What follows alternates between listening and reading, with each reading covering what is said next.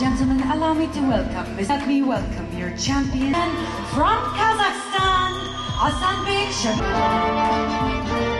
2022